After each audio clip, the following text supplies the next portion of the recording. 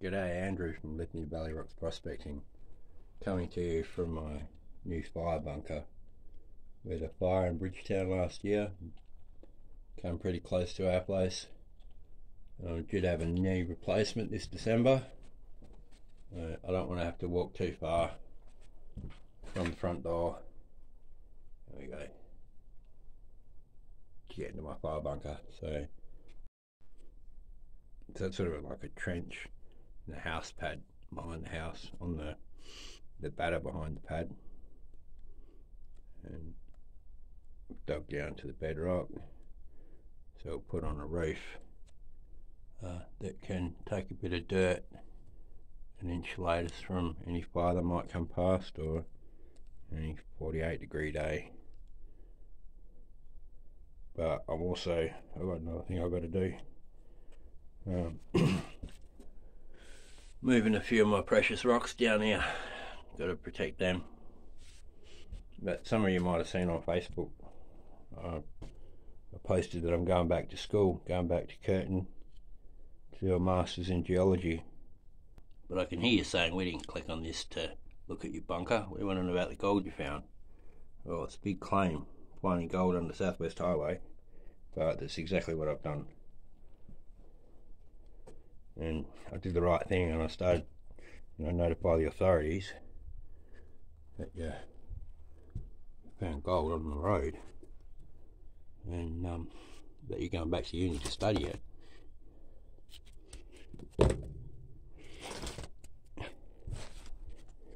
And before you know it,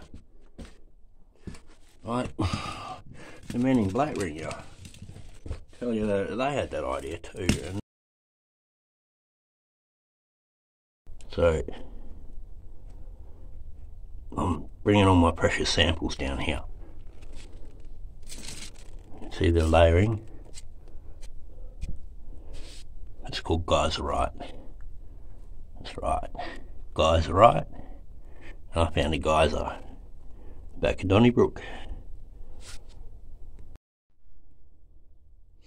So you say, how can you say you found a geyser? There's no geysers in Donnybrook well, it's not any geysers now, but Donnybrook has epithermal gold, which is basically the plumbing system to geysers. So, can you see that?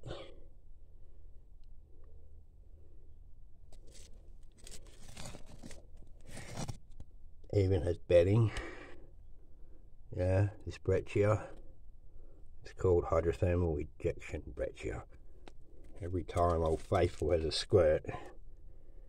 You know, of this stuff blows out down the creek.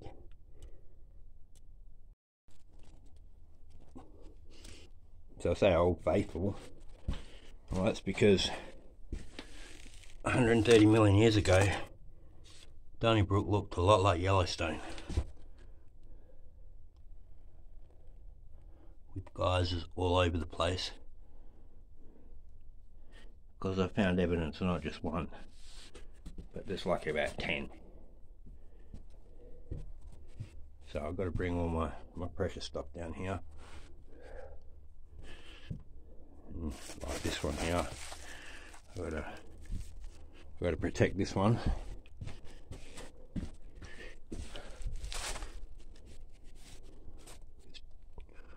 Just one look at this one.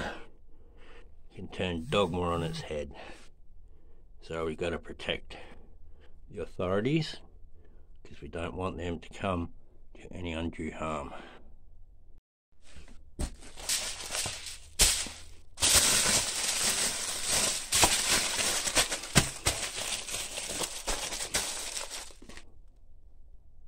So we've got a different type of geyserite, some little black speckly bits on it.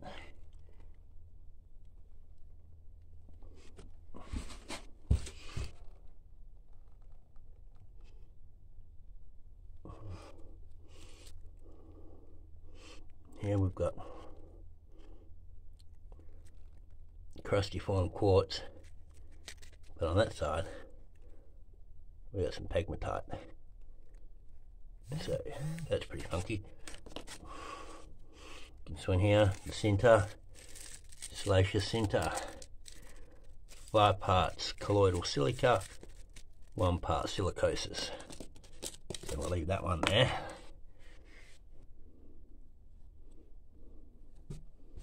So what we're going to be studying back at, at Curtin. In the lab is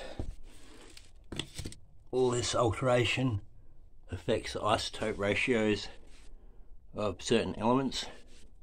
And using geochronology, thermochronology, um, things like zircons and rutile, micas, even plagioclase feldspar, um, you can date when things got hot and changed which is pretty cool. Uh, some awesome guys at Curtin to help us out. Uh,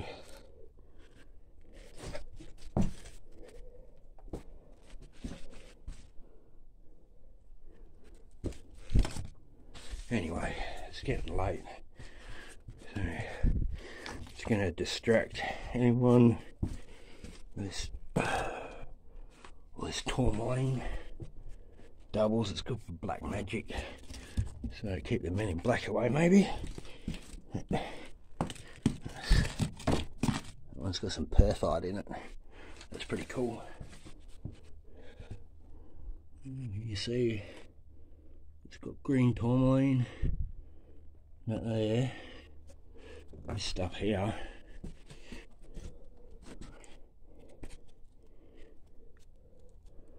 This is 100% uncut, high grade Greenbushes pink crystal spodumene.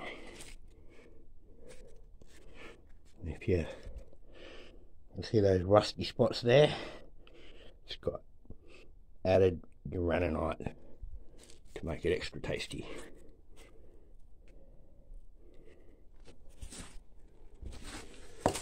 Those rusty spots are signs of radiation damage from the uranium and uraninite mineral.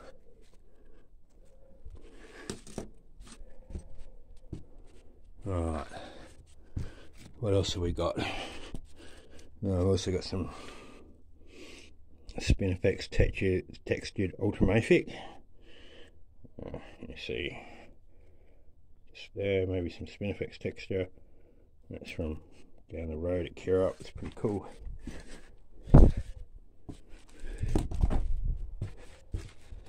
And uh, here we've got a gneissic breccia, hydrothermal breccia with uh, gneissic class with a like a chlorite matrix. It's pretty funky. We'll date that. So it should tell us when that period of epithermal activity was.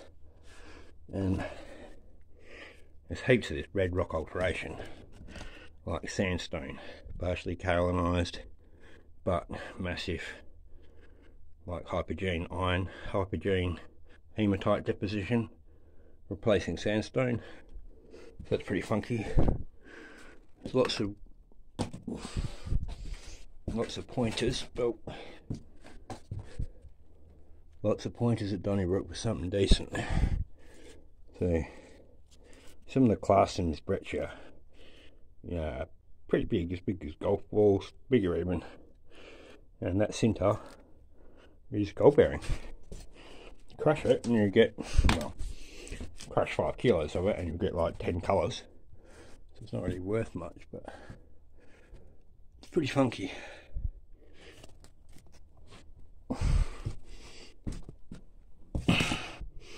Right, some chlorite suns getting there, or it's a Spinifex replacement or something.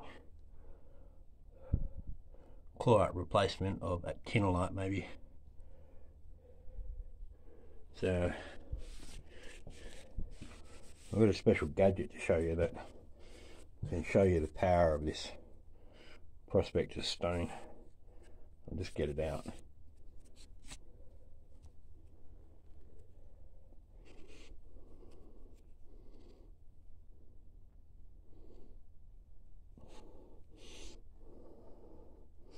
There we go now. I know you're saying, hey, come on, you not divining.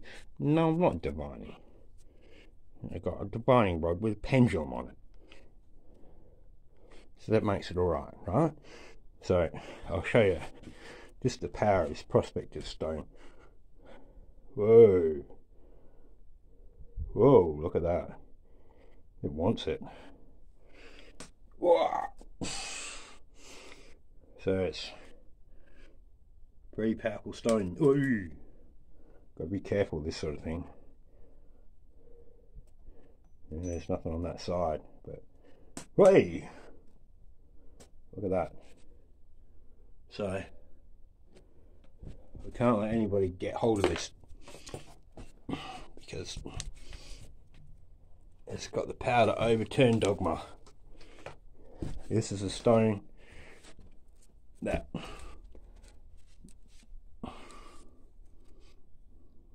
this is the stone that unlocked it all. This is a Rosetta Stone. That's what this is. So it's going to be protected. We've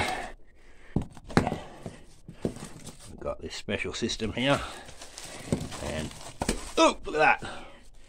Hooked up the electric fence. No one's going to pinch that. Rightio. So the last thing to do, this sort of thing, you've got to you've got to wet it all down before you say goodnight.